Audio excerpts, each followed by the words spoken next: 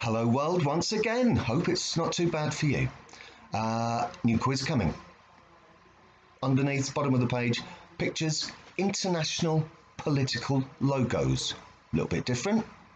Name the 10 countries where each of those parties is either in power or has been recently. And then there's a music link. Five bits of music, each with two questions. Who's performing? Who's doing the singing? And then who are they singing about? Well known pop songs about other people. Who's doing it?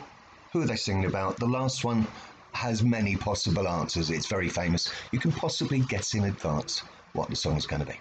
Special mention as well to Mr. Ian Frost, otherwise known as Blue Nosy from the, the sports website I contribute to occasionally, FISO. Uh, he ended up with full marks on the last quiz we did, but I only got the quiz entry in from him after I'd just done a, late, a, re- a previous video, so uh, mentioning him now. Well done, sir.